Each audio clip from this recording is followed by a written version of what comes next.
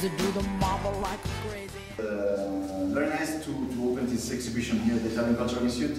Although the, the arts that are ex exhibit here has no relation with Italy directly, except for the for the religious context of the of the work.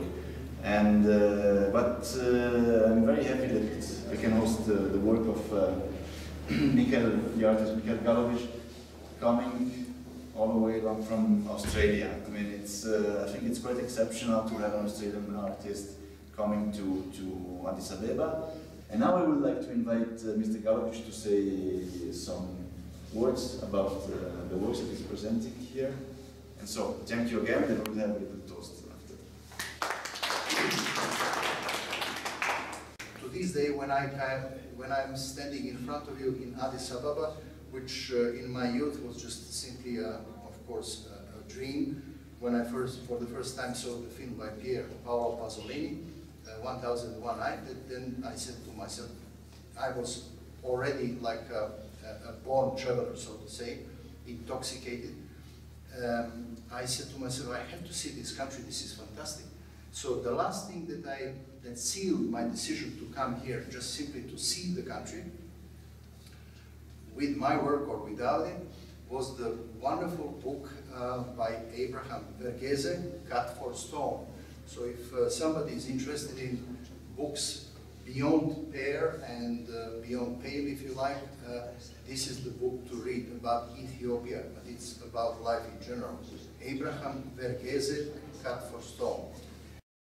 I dedicate uh, my life completely to two things. One is painting icons, which I do on a daily basis uh, when I'm at home. Um, and the other one is, uh, as of late, I'm doing more and more religious contemporary paintings or art, which again is different from icons simply because in the religious uh, contemporary art or any art whatsoever, we are free to do whatever we please. We are free to manifest our thoughts on life, death, resurrection, or any kind of situation in this kind of uh, worldly level that we live in.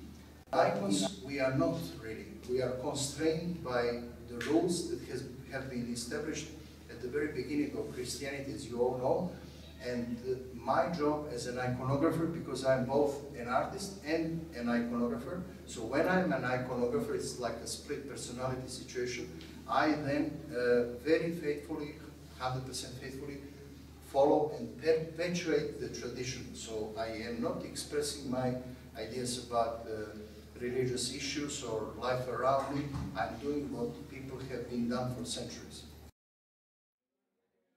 There is the connection with Italy. There are too many uh, tangential points with Italy. I mean, Italy is uh, a place that keeps influencing the whole world. So coming from Serbia, I was the, we were the neighbors with Italy, and so I was there many times. And culturally, we never cease to be with Italy all the time. this is not said to be nice to Italy. This is just a, a fact of life. So I started the setup of this exhibition as a homage to Italy. This is Saint Dominic as a replica of a Renaissance master, and we finished with the meaning,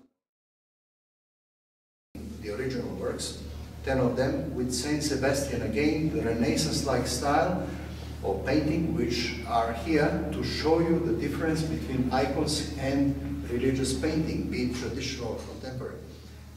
To show you that they sometimes look very similar.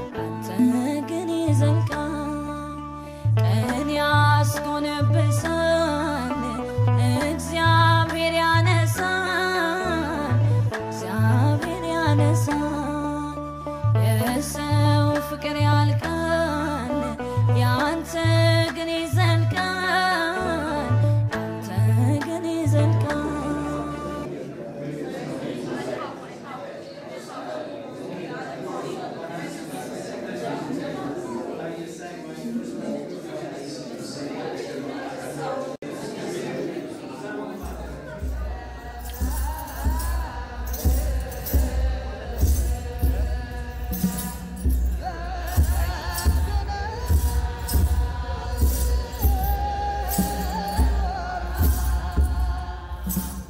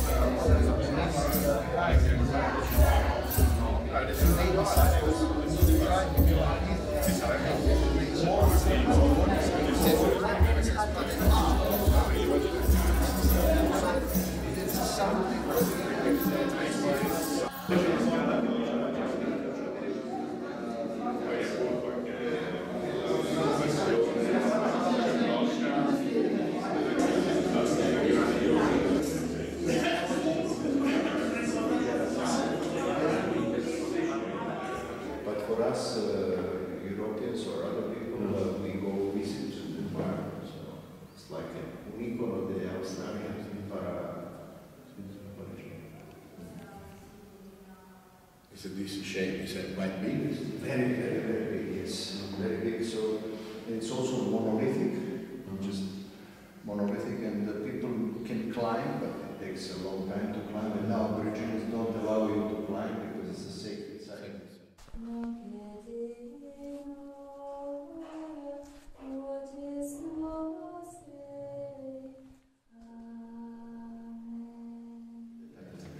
So I took the Christian symbol of crucifixion and uh, painted it in a manner suggestive of Aboriginal painting. That's how Aborigines paint, generally speaking. So Combine, combine the two. reconciliation. Absolutely.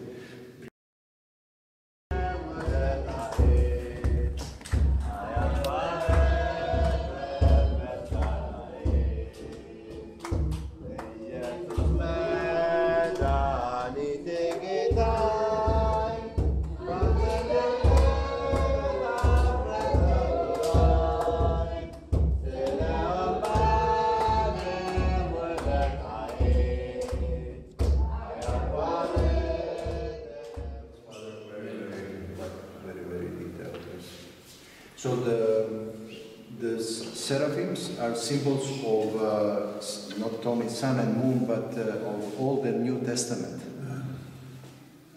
Yes, and also day and night, and so those polarities. So this is a yellow gold, and this is a, a half gold, half silver. It's called white gold. Yeah.